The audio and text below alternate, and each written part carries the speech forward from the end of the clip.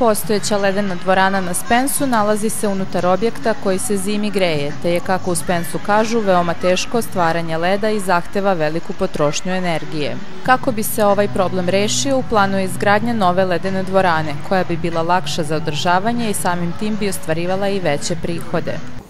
Imamo i ovu našu ledenu dvoranu, koja je u prilično lošem stanju, znači govorim o, o podu, o cevima koji idu ispod i nama bi za sanaciju te ledene dvorane da bi je doveli u, u, u, nek, u neko normalno stanje sigurno trebalo više od 20 miliona dinara.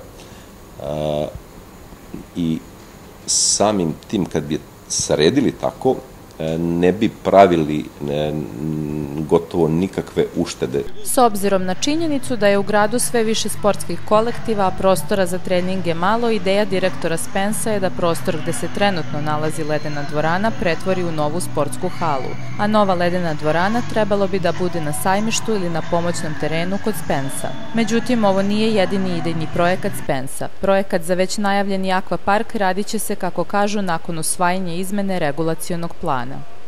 To je mesto ovde uh, iza, iza ovog otvorenog bazena na Spensu, to je parcela od nekih 17.000 metara kvadratnih, uh, gde bi, gde bi se radila neka 3 do 4 bazena, sa toboganima, sa sadržajima za decu, za odrasle, tako da mislim da bi bilo na zadovoljstvo građana Novog Sada, jer sada, sada ipak idu van Novog Sada u neke druge akvaparkove, troše gorivo, uzima im vreme za prevoz i šteta je da Novi Sad to nema. Kako Balać navodi, osim navedenih beneficija, realizacija ovih projekata donosila bi i veliku dobit ovom poslovnom objektu. Na taj način bi se rasteretio i grad sa subvencijama koje daje Spensu, jer bi ovaj objekat mogao sobstvenim prihodima da pokriva svoje poslovanje.